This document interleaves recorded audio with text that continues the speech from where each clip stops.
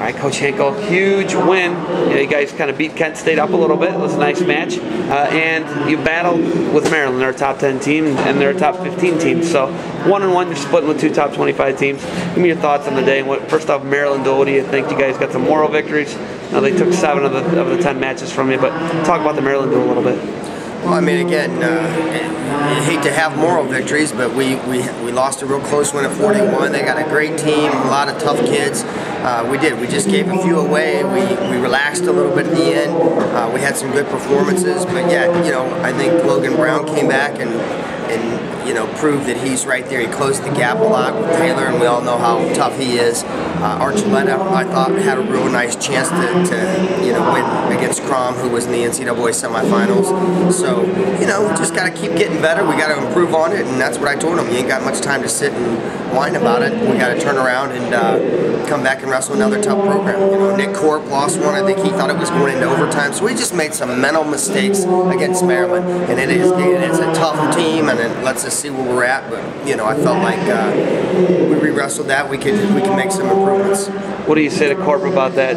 Pay attention to ride time a little bit more, maybe. Pay attention when you get ridden out for a whole period. You got to realize that. I mean, that's we're yelling at him, but you know that's one of those things. It happens. You got to have enough awareness. He's a fifth-year senior. He should have known that. But uh, again, you got to learn from it. It's all about building up to the postseason. So you know, and then he certainly had a tough, tough match with Kent State. But I mean, I thought our guys bounced back well.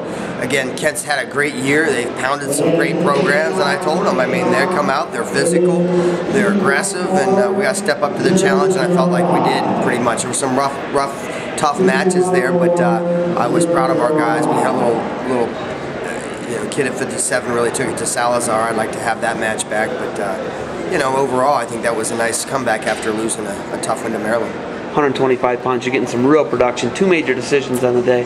Where's this guy coming from? Out of nowhere, man. Yeah, he, he's a tough kid, and we got a tough kid in there, Matt Fields, who's had a lot of wins this year. But we decided to wrestle Cash this year. He was third in the Indiana State tournament last year. We uh, we've known him since he was little. Feel like he's got a lot of upside. He was a match away from placing at Midlands. Gave the Garnett kid a run for his money first round. So we're real excited the way he wrestles, the way he can score, his attitude, and he just doesn't wrestle like a freshman. And again, he's a kid that didn't even win the, the state tournament last year in Indiana.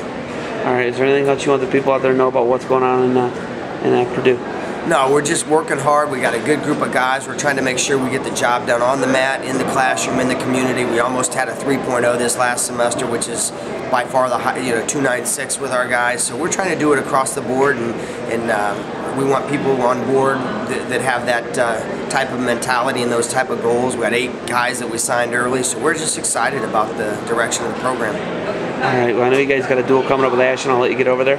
Coach, thanks for the time and good luck. Thank you.